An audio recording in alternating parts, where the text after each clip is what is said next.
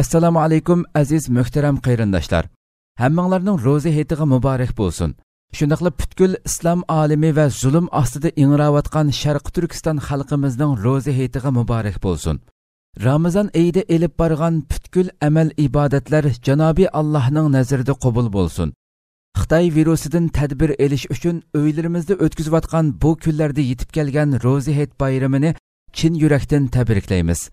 Bu hetni garchi bir birimiz bilan qo'l elishib quchoqlashib het bayramni tabriklayolmagan bo'lsakmi ruhiy va ma'naviy jihatdan o'zaro bir birimizga ko'ngil izhor qilib do'stlik qarindoshlik sabdoshlik rishtimizni kuchaytirish het kunlarda bo'lsimi muhojiratdagi hayotda o'zimizni yolg'iz his qilmasligimiz uchun bir birimiz bilan telefon va videolik ko'rishish orqali ro'za hetni xo'shal kayfiyat ichida o'tkazishga tirishchanlik ko'rsatib ruhiy kayfiyatimizni yaxshilashga tirishaylik. Bu ramazon iyi va ro'zi hayit bayrami pitni ig'vo nizo adovatlarga xotima berilib qarindoshlar aro munosabatni va birligimizni kuchaytirishga vasila bo'lg'usi. Shundoqla ona vatanimiz sharqi turkistonni urug' tuqqanlarni seg'inish va ular bilan uchrashish istiki bilan hasratga to'lgan yuraklarimizga malham bo'lg'usi.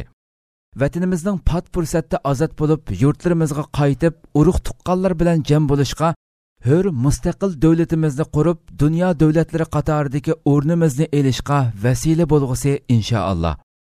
Yana bir qatim butkul qarindoshlarimizning ro'za hayitini tabriklaymiz. Hayitni oila farzandlar bilan xushal xo'ram o'tkazishga tilakdoshlik bildiramiz.